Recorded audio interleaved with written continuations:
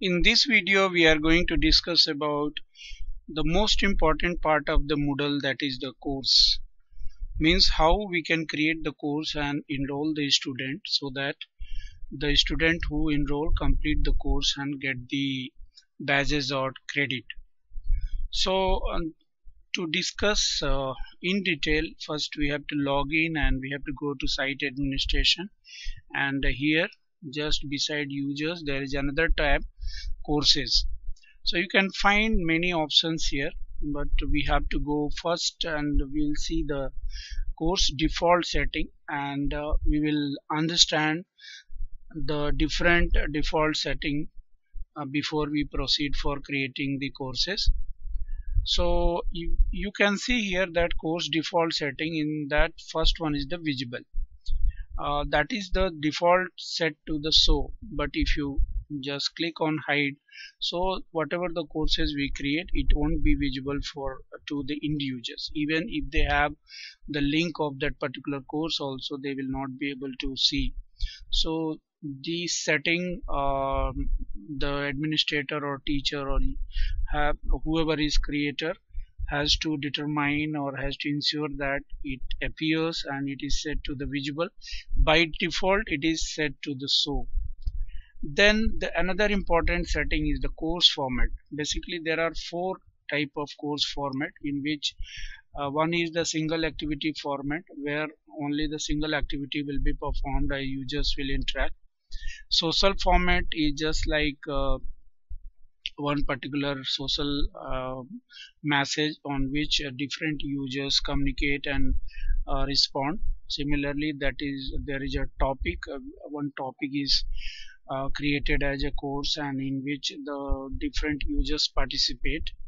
And there is another that is the weekly format. Generally this is the famous format uh, which is uh, uh, suppose I am conducting one course or I am offering one course which is of five weeks. So accordingly that whole program will be set. And uh, the maximum number of section this one uh, this uh, that is the default 52 and the maximum value in the number of section drop down menu it can be 52 and it is applied to certain course format only. And next is the number of section. You can increase the number of section but uh, by default it is 4 and number of the section in the course it is applied to certain course format only not applicable to all format and some of the hidden section are shown in collapse form. So by default it is set to hidden section uh, in collapse form. But if you want you can uh, set the hidden section or completely invisible.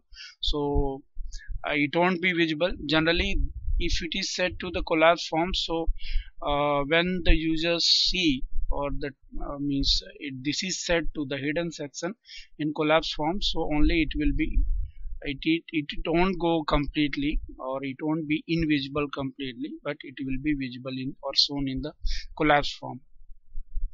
Then the course layout so all section on one page or so one section per page it is up to you how you want your section to be displayed. And uh, course end date enabled by default by default. So by default it assumes the course end date but uh, if you just uncheck this so whatever the date you set it will take as per uh, your setting. Even after setting this also whatever the date by default is uh, set you can modify that. And the course duration you can set it. Course duration is used to calculate the default course and date.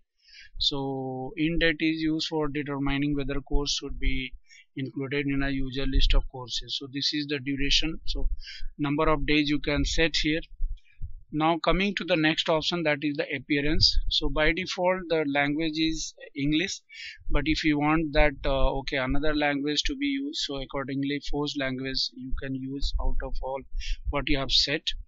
So that will become the forced language and uh, system will act accordingly. And uh, this is the number of recent announcement in the uh, announcement block. So how many you want to set you can set accordingly and uh, so gradebook to student. By default it is set. So it will enable the display of gradebook and it does not prevent grades from being displayed within the individual. And so activity report by default it is set to no. But if you want that activity report to be shown to the end users so that you can set here. A maximum the another one is the file and upload. This is the maximum upload size and this is uh, 32 MB so this 32 MB uh, size is default but if you want uh, to modify so you can modify accordingly. The largest size uh, uh, 32 MB can be uploaded in the course. And uh, completion tracking by default it is set to yes. If it is enabled then uh, activity completion condition may be set. In the activity setting course completion condition may be set it is recommended to have this enabled so that uh, meaningful dat data is displayed in the course overview on the dashboard. So by using this the user will be able to track the completion of the uh, course. And uh, then this is the group group mode. By default it is set to no group but if you want separate group or visible group so that you can set. And here also it is not forcefully set to yes for any group but uh, force the course group mode to every activity in the course. So if you want any particular group to be used forcefully so in that case you have to set it to yes and also you have to choose the uh, group. So in this way you can set uh, the um, different setting for uh, creating the course. So this is the course default setting uh, next video we are going to see that how we can create the category and uh, different courses. So hope this will help you to configure the default setting and also make the changes necessarily and necessary for creating the course. So finally I just click on save and uh, let's see in the next video